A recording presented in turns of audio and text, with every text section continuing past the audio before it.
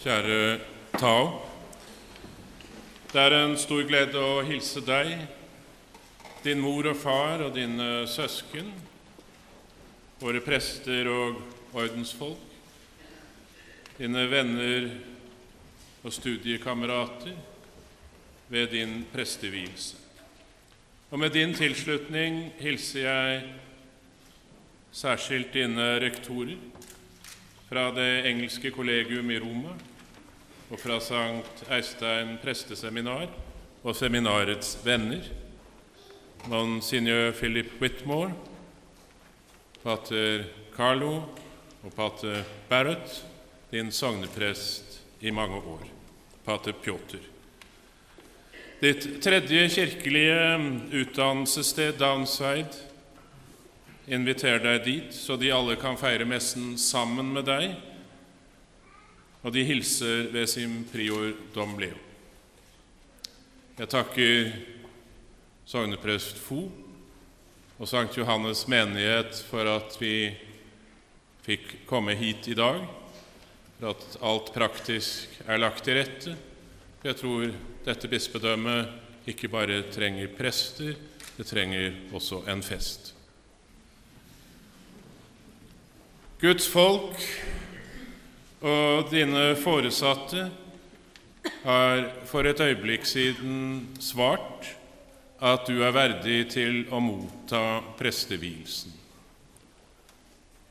Jeg kan si det enda mer presist. De har bedt ditt kall frem allerede før de visste hvem du er. Senere har de gledet seg over å be for en prestestudent og diakon de kjenner og kjenner godt. Og i dag er de kommet hit for å be for deg og sammen med deg og for å gratulere deg. Og kjenner jeg deg rett, vil du finne sanne og gode ord til dem alle. For dette er en særskilt styrke du har. Du husker mennesker du har truffet, fra din barndoms juletrefester i Senterpartiet på Trøgstad, hvordan du nå slapp inn der, fra skole, menighet, arbeidssted og studium.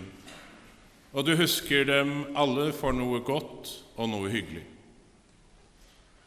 På tysk sier man 'In der Begrenzung zeigt sich der Meister'.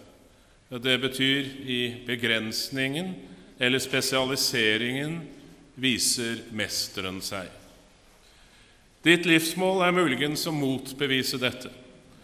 For din utdannelse spenner fra boring av oljebrønner til bartenderkunster og fra svakstrøm og infanteridisipliner til teologi. Noen har også nevnt dine ferdigheter i diverse former for kampsport, men jeg har valgt ikke å konfrontere deg med dette. For å konkludere det du kunne sies å mangle teologisk målrettethet, altså fra din første utdannelse av, det tar du igjen i faglig bredde og for øvrig i en meget god teologisk avgangseksamen. Så må jeg også fastslå at din trofasthet mot den liturgiske kalender er stor. Du er holdt fast ved dagens evangelielesning. Og Det er en sterk og velegnet tekst, og den sier noe viktig om prestegjerningen, og jeg tror også om din vilje. Gud kaller fordi vi ber, og fordi Kirken trenger prester. Men han kaller hvem han vil. Han tvinger ingen, for han forlanger meget. Det finnes heller ingen mulighet for å svare halvhjertet på hans kall, som for en prest i et bispedømme betyr tjeneste for Guds folk og midt iblant Guds folk. Og Bare på ett vis kan en prest bli lykkelig, og det er ved å gi seg helt, helt hen når han tjener Gud. Den som måtte være opptatt av det materielle, også kjent som mammon, må bekjempe mammons fristelser. bare, som bare er en av mange tenkelige fristelser. Jeg formulerer ikke en forventning om fullkommenhet her, men om en fullkommen vilje.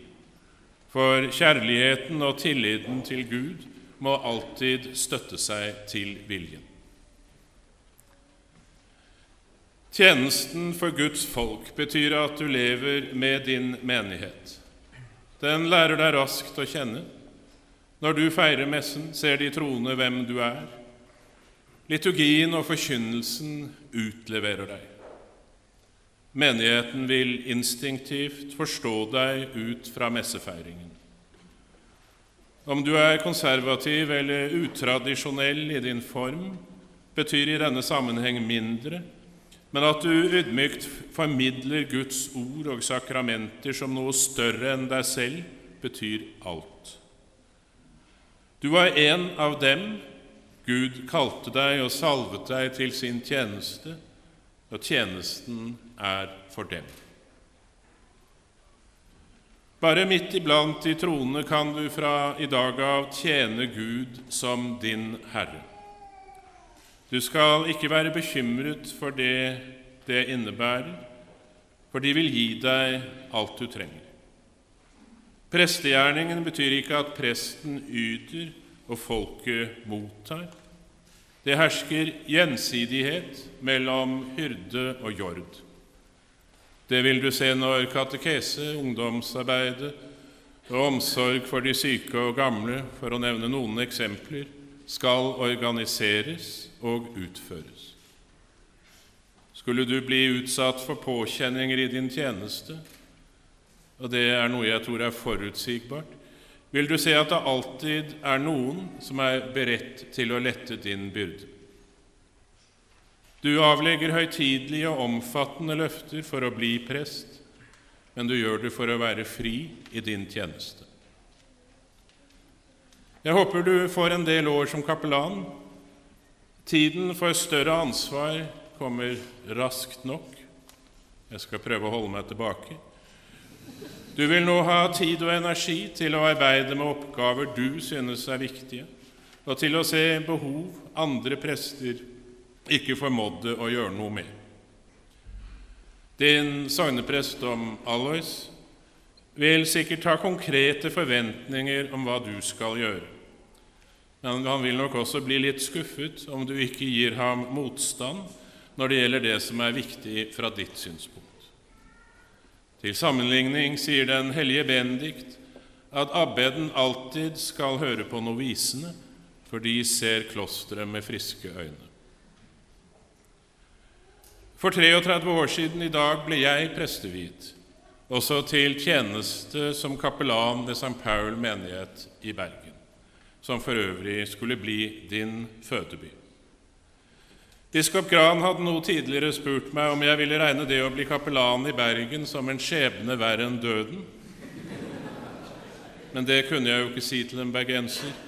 Så det ble altså Sankt Paul, og det har jeg grunn til å være takknemlig for, for det ble hittil mine beste år. Du kommer til en menighet med mange prester, et stort geografisk område og mange spennende oppgaver i de troende i St. Paul menighet din tid og dine krefter motstandsløst, men ikke tankeløst. Måtte Gud, som har begynt den gode gjerning i deg, også fullende den. I Faderens og Sønnens og Den hellige ånds navn.